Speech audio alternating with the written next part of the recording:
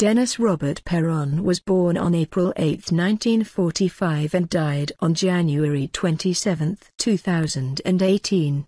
He was an American activist and businessman who became a leader in the movement for the legalization of cannabis throughout the 1990s.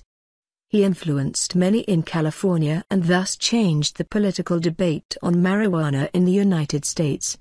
Peron was born in the Bronx, New York City into an Italian-American family and grew up in Long Island.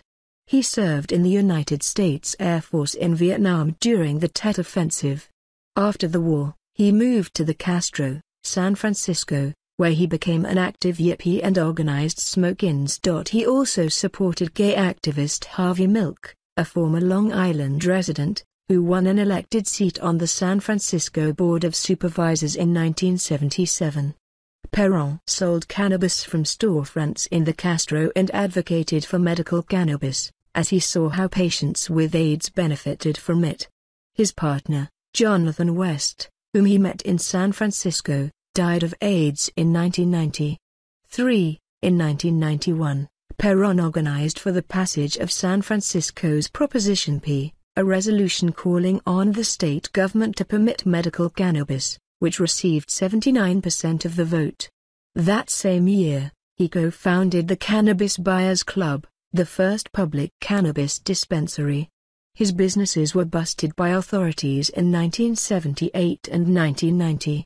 In 1993, Peron and Brownie Mary jointly released a cookbook with recipes for cannabis edibles. In 1996, Peron co-authored California Proposition 215, which sought to allow the use of medical cannabis.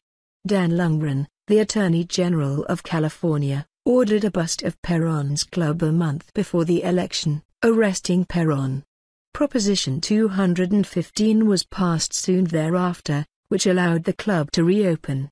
Later in 1996, the grassroots Legalize Cannabis Party of Minnesota fielded Peron as their first nominee in the U.S. presidential election. Peron received 5,400 votes.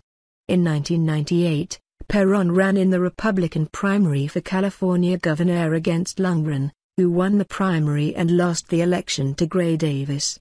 Peron voiced support for decriminalization of all marijuana use, believing that it is medicinal. He opposed medical marijuana use for children.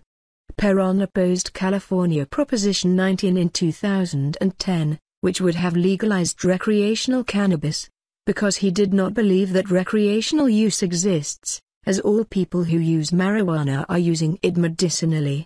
He opposed California Proposition 64 in 2016. Later in life, Peron owned and operated a 20-acre, 8.1 hectares, cannabis farm near Clear Lake, California. San Francisco's Board of Supervisors recognized Peron who was suffering with late-stage lung cancer, with a Certificate of Honor in 2017. On January 27, 2018, aged 72, Peron died of lung cancer at the Veterans Administration Health Center in San Francisco.